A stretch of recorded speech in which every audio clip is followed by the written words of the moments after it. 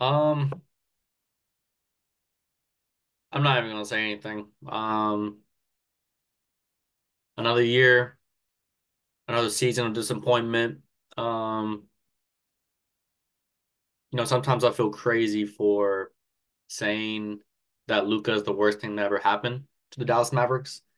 Um, he, I don't know. I say this every year, and we just fall short every time, and I feel like I'm talking to a wall sometimes. When we got Luka Doncic, eh, he sank the team in a different dimension. He ruined us from ever having more draft picks.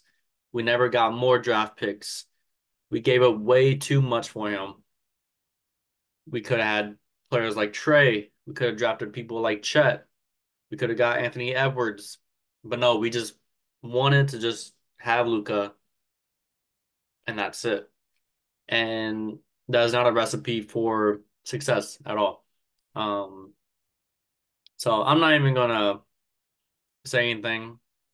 I just wanted to just document another year, um, another year, another loss, another losing season for the Dallas Mavericks. I, I don't even know what to say. Um, you know, maybe there's an, a, way to get Chet, um, because he's obviously leading a better team. Um, as you can see, Dallas Mavericks are seventh in the conference. Uh, we are just above the Houston Rockets. Um, yeah, that is um that is the state of the Dallas Mavericks right now. We are worse than Zion. We're worse than CJ McCollum. We're worse than James Harden right now. Um, one of these days, I hope we can trade Luka for Chet. I think we need to hop on that right now. Obviously, Chet is leading the team number two at the moment. Um, yeah, this is just uh, embarrassing for the Dallas Mavericks. Um, Luka is just the same player every year. Um, shoots more, he ball hogs more, he um, shooting way too many shots right now, way too many three pointers. Never improves on his free throws. He's just the same old, same old. Same old, same old.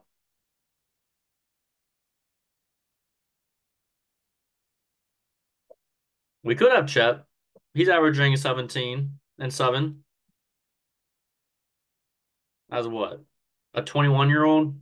Man, would love to have that on the team right now.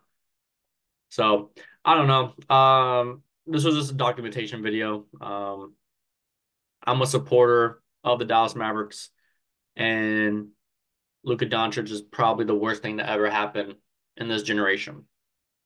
At least with Dirk, we had he got other players to come play with him, but Luka just doesn't want any help. He doesn't want any teammates to be playing with him. He does not want to get other teammates involved. Um, and so, you know, the team is going to suffer for it. And um, just another losing year. There's another depressed fan. And um, hopefully we'll go up from here.